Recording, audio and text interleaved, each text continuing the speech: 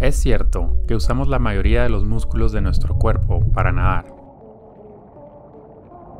Pero hay un grupo de músculos que es esencial para nadar más que cualquier otro, los músculos del tronco.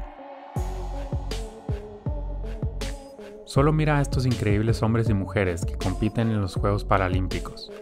Si no tuvieran músculos centrales fuertes, no podrían moverse en línea recta, y sin embargo, lo hacen.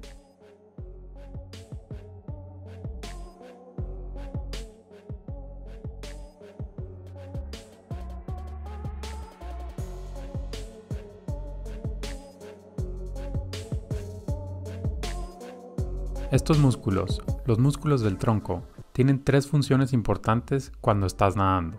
1. Dirección. Cuando nadas estilo crawl o espalda, lo que te mantiene en línea son tus músculos centrales. Si no los usas, nadarás en zigzag. Y si no usaras los músculos del tronco en pecho o mariposa, no habría transferencia de energía potencial desde tus brazos a tus pies, como lo hablamos en el video de la física de la natación parte 6. Los músculos del tronco son los que te ayudan a moverte hacia donde quieres moverte. También es lo que evita que tus piernas se hundan si los usas correctamente. Rotación. Cuando nadas estilo crawl o espalda, también estás constantemente girando tu cuerpo, esto ayuda a colocar los brazos en una mejor posición para jalar, pero también ayudan al jalón. Al girar tu cuerpo, también estás jalando tus brazos al apretar tus músculos oblicuos.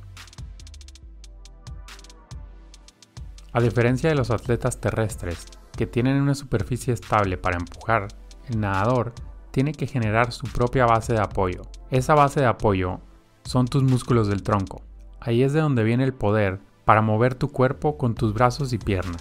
Sin los músculos del tronco, serías como un espagueti cocido, con brazos y piernas que no se mueven en ninguna parte en el agua. Para fortalecer tus músculos del tronco, mira esta lista de reproducción. Si quieres saber más sobre nuestros campamentos de natación, o si quieres comprar nuestras gorras de natación, da clic aquí. Nos vemos ahí. Nada rápido.